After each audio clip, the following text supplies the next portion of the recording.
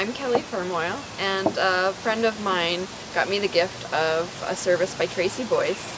Um, despite on the surface my life looking very, um, very happy and uh, and fulfilling, I was restless inside and I had a few areas where I was stuck and Tracy was able to come in and like a doctor diagnose where my blockage was and prescribe the right remedies to get things flowing again. Everything from money, love, and it took a few, just less than five easy to implement things in my home.